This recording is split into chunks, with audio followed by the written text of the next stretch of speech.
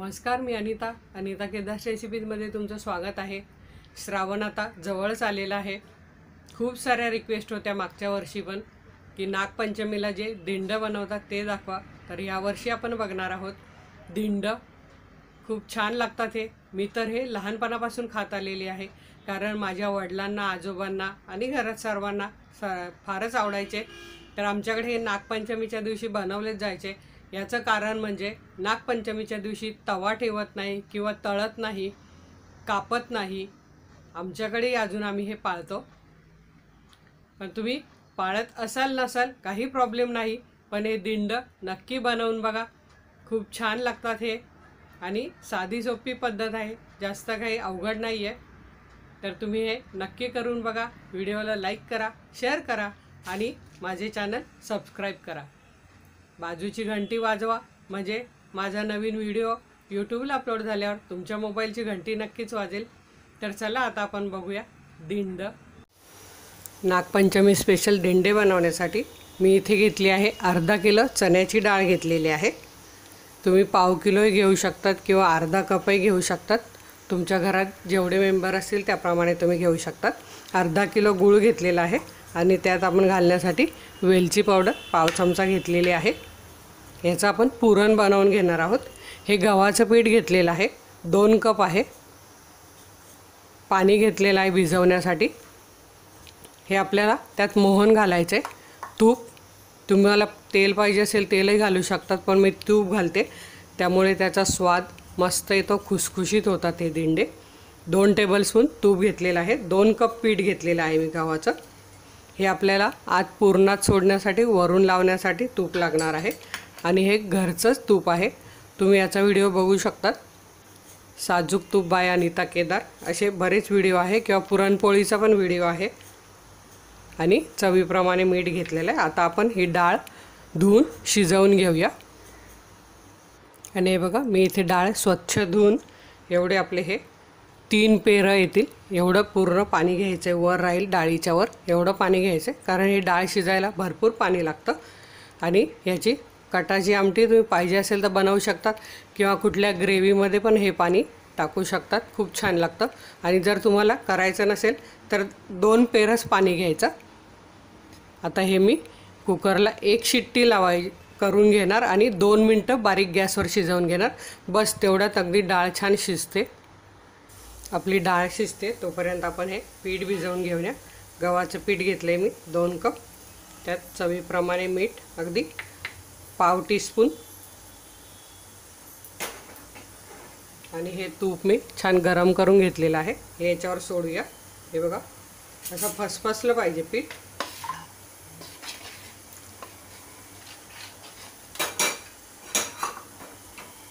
छान मिक्स करून घ्यायचं आहे हे. हात घालायचा नाही. तूप आपण गरम घातलेलं आहे. असं चमचाने छान मिक्स करून घ्यायचं आहे. आता हे थंड झालं आहे हाताने मिक्स करून घेऊया. म्हणजे सर्व पिठाला तूप लागेल.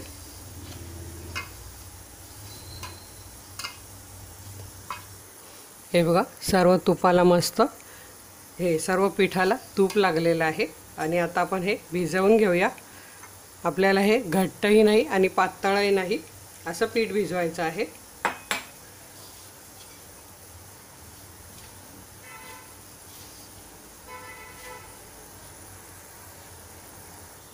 आणि हे बघा आपलं पीठ भिजवून झालं आहे. आपण हे दहा पंधरा मिनटं झाकून ठेवणार आहोत. मस्त इथे तुम्ही बघू शकता छान पीठ भिजवून झालेलं आहे. हे बघा एक शिट्टी झाली आणि दोन मिनटं बारीक गॅस करून ठेवलेलं आहे. आता आपण बघूया आपली डाळ कितपत शिजली. अशी शिट्टी आधी वर करून मगच झाकण उघडायचं आहे. हे बघा तुम्हाला जवळून दाखवते किती छान डाळ शिजलेली आहे. हे बघा डाळ शिजली आहे पण फुटली नाही आहे फुटून नाही द्यायची डाळ. आता आपण ही या चाळणीत काढून घेऊया. म्हणजे पाणी पूर्ण निथळून जाईल. आता आपण याचं एक मिनटं पूर्ण पाणी असं निथळून घेऊया. म्हणजे पुरण पातळ होत नाही हे पाणी असं पूर्ण निथळलं पाहिजे. हे बघा आपल्या डाळीचं पाणी पूर्णपणे निथळलेलं आहे. असं हलवून घ्यायचं. म्हणजे थोडेसे काय थेंब असतील ते निघून येतील. आता आपण या भांड्यात डाळ काढून घेऊया.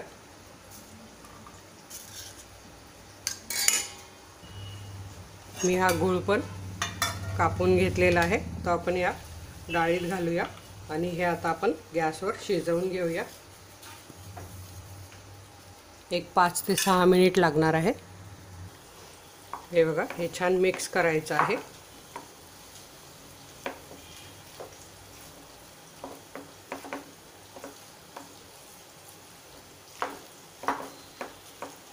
गूळ वितळायला सुरुवात होईल आणि मग ते आपल्याला आटवून घ्यायचं आहे. हे बघा गूळ छान वितळला आहे तीन मिनटं झालेली आहे. अजून आपल्याला हे थोडंसं आटवून घ्यायचं आहे अजून एक तीन एक मिनटं लागणार आहे. हे बघा. चेक करायचं असेल तर असा कालता ठेवायचा उभा. तो जर सरळ उभा राहिला तर समजायचं आपलं पुरण बरोबर झालं. अजून हा पडतोय. तेव्हा आपण अजून हे आटवून घेणार आहोत. हे बघा अजून तीन मिनटं मी छान हे हलवून घेतलेलं आहे. गॅस मोठा ठेवून हलवायचा आहे. आणि हे बघा आता आपण जर कालता ठेवला तर तो बघा उभाच राहतो म्हणजे आपलं पुरण झालेलं आहे. आता आपण यात वेलची घालूया. पुरणपोळीच्या वेळी मी सुंठ आणि काळी मिरी पावडर पण घातलेली. तीही घातली तरी चालते. आपल्या आवडीप्रमाणे. आता गॅस बंद करूया आपण आणि हे गाळून घेऊया. आता हे मी या ही माझी पुरणाची चाळण आहे. त्यातून मी हे असं गाळून घेणार आहे. काही तुम्ही चमच्याने पण असं करू शकतात. पण मी काय करते माझ्याकडे हे पोटॅटो मॅशर आहे. त्याने मी असं सर्व दाबून घेते. म्हणजे डाळ पण राहिली असेल तर ती दाबली जाते. माझी तर राहिलेली नाही आहे कारण पूर्णपणे छान डाळ शिजलेली आहे. असं मी सर्व पुरण गाळून घेते. हे बघा आपलं इथे पुरण बनवून तयार आहे. अगदी थोडंसंच बघा राहिलेलं आहे. तेही असं यात जर फिरवलं तर असं बारीक होईल. आणि इथे तुम्ही बघू शकता किती छान आपलं पुरण तयार झालेलं आहे. आता आपण दिंडे बनवायला सुरुवात करूया. हे बघा दिंडे उकडण्यासाठी इथे मी पाणी घेतलं आहे अर्धा टोक. ते आता आपण उकळत ठेवूया. दिंडे उकडण्यासाठी मी इथे ही चाळण घेतली आहे.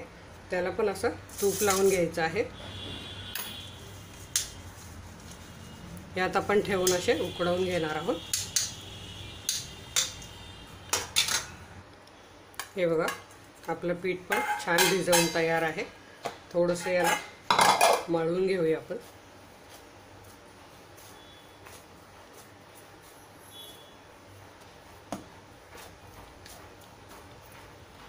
यातला एक गोळा काढून घेऊया. साधारण लिंबाच्या आकाराचा असा गोळा घ्यायचा आहे. हे बघा आता आपण हे लाटून घेऊया. छोटी आपण जी रोटी बनवतो त्या साईजचं आपल्याला हे लाटून घ्यायचं आहे. जास्त जाड पण नाही आणि पातळ पण नाही असं.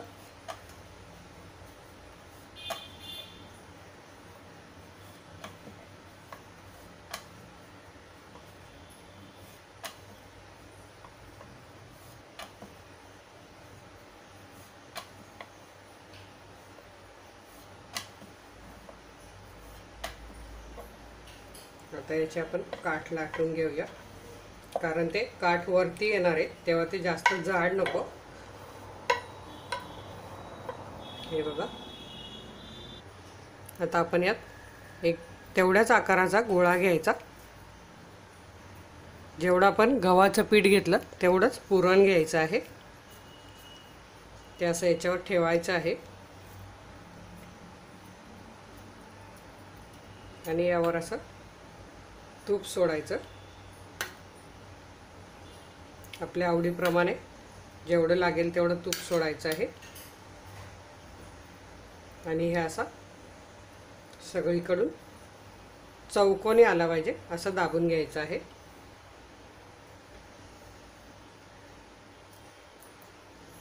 आणि हे बघा आपला हा दिंड याला म्हणतात हा तयार झालेला आहे. असे मी आणखी चार पाच बनवून घेते. हे बघा आपल्या तिकडे पाणी पण उकळलं आहे आणि हे चार मस्त दिंड तयार झालेले आहेत. आता आपण हे उकडून घेऊया.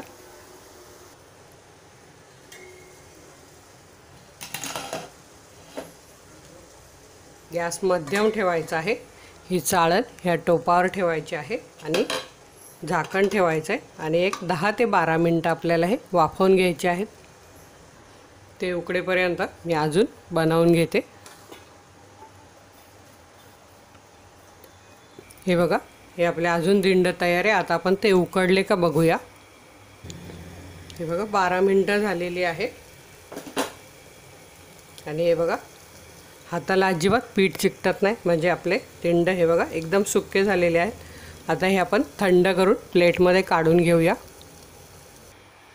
आणि हे बघा हे चाळणीला जराही चिकटलेले नाही.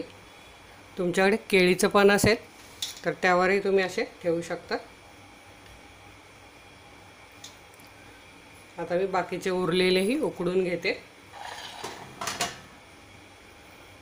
आणि हे बघा यावर अजून तुम्ही तूप सोडून मस्त हे खाऊ शकतात.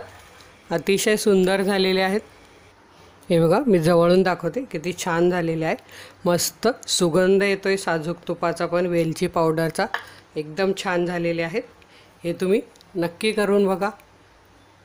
अगदी तुम्ही जरी नागपंचमीला नाही जमलं किंवा नंतरही आपण जेव्हा पुरणपोळी बनवतो त्यातलं पुरण उरतंच फक्त तुम्हाला गव्हाचं पीठ भिजवायचं आहे. आणि असं गव्हाचं पीठ भिजवून नक्की बनवून बघा खूप छान लागतात हे. हे तुम्ही असेच खाऊ शकतात. किंवा आमच्याकडे रव्याची खीर बनवतात. ती पण मी आपल्या चॅनलला लवकरच दाखवणार आहे. रव्याच्या खिरीबरोबर माझे आजोबा तेव्हा वडील पूर्वी हे मी लहानपणापासून बनवते आणि खाते. तर हे रव्याच्या खिरीबरोबर पण नाशिकला खाल्ले जातात. तुम्ही हे नक्की करून बघा. वेळात वेळ काढून माझा व्हिडिओ बघितला त्याबद्दल तुमचे मनापासून धन्यवाद. पुन्हा आपण अशाच छान छान रेसिपीबरोबर भेटणार आहोत. तेव्हा तुम्ही व्हिडिओला लाईक करा शेअर करा आणि चॅनल सबस्क्राईब करा. धन्यवाद.